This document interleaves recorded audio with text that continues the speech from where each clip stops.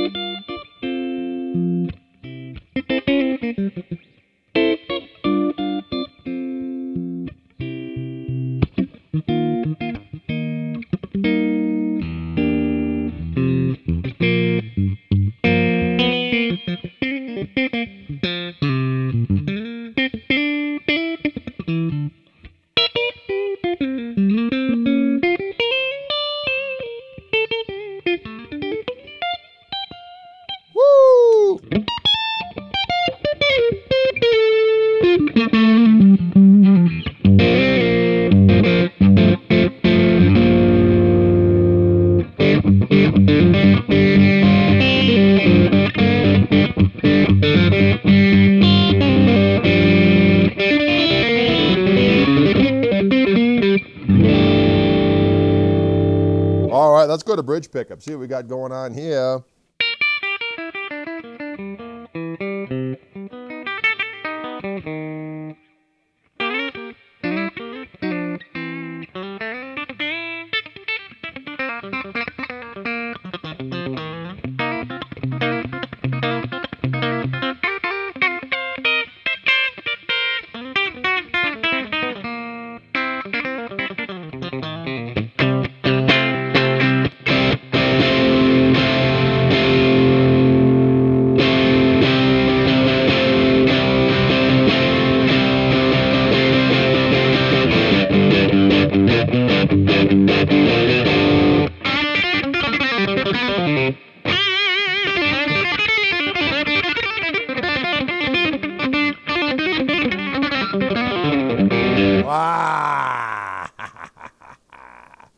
Fender American Vintage Thin Skin 52 Telecaster with humbucker here. Wow, what Greg Koch got?